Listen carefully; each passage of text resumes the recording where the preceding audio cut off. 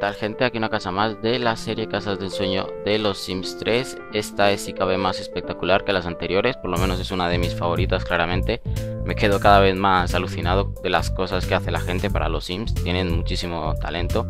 Esta casa en concreto es de Line Sims, creo que se pronuncia, es como se llama el artista en The Sim Resource.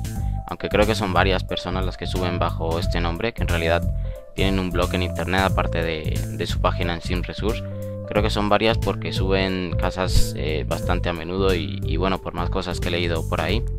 Ahí os dejo esta casa que la subieron hace poco más de un mes. Yo la he puesto en el barrio Sunlight Tides y lo único que he modificado ha sido el color de algunas paredes, aunque no mucho. Si os metéis en el link de, la descarga vais a ver el, el color original. Yo simplemente he pintado algunas paredes que eran blancas, que eran casi todas y, bueno, como os digo, esta casa es de Perline Sims, creo que no es la primera que subo de ellos. Además, la escuela encantada del tráiler que subí hace poco eh, también es de esta gente, os recomiendo que veáis sus creaciones. Y el tráiler también, que está bastante currado. Esta casa la, está hecha con todas las expansiones que han salido hasta ahora, para los que preguntáis, pero como siempre repito, la casa se instala igualmente en el juego, simplemente que los objetos que pertenezcan a, expansiones que no tengáis se sustituyen por otros del juego y listo.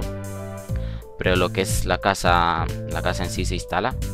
Y lo bueno es que también los objetos personalizados que tenga también se instalarán.